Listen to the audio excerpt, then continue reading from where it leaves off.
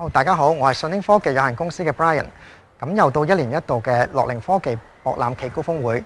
因應今年嘅疫情啦，公司已經預先將所有嘅展覽產品噴咗一層防菌嘅光中媒塗層，令到大家參觀嗰陣時更加安心。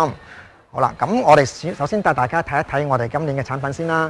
我哋有照顧者方案啦、護理方案啦。咁我哋喺呢一邊亦都引入咗新嘅產品啦，係啲人體誒活動嘅測量方案啦。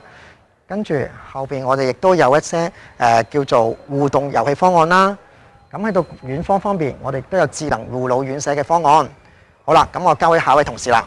係，剛才提頭先同事提過嘅智能護老院方案呢，而家仲有一啲新嘅 device 咧，唔需要插電線嘅。咁喺一啲唔方便嘅地方，例如好似係廁所啊、廚房啊咁樣咧，都可以安得到，會較為方便啲嘅。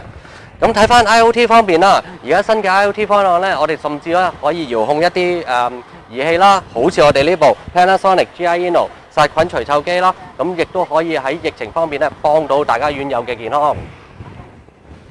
大家可以睇到啦，咁我哋亦都有一啲誒比較方便嘅 IT 方案啦，可以幫到院友嘅健康管理啦，甚至乎可以睇到我哋呢個叫聽 medicine 嘅 solution 咧，咁好似探病啦，甚至搖佢去睇醫生，亦都可以幫到大家手喎。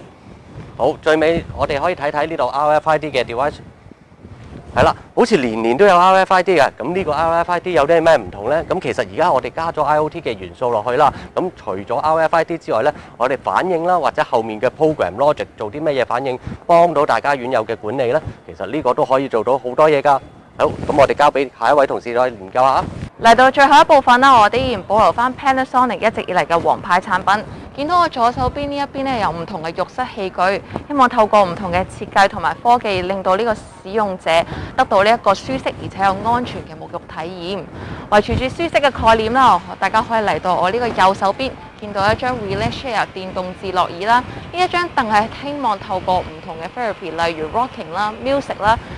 令到呢個用家咧嘅情緒得以舒緩。有興趣嘅朋友快啲落嚟試下啦！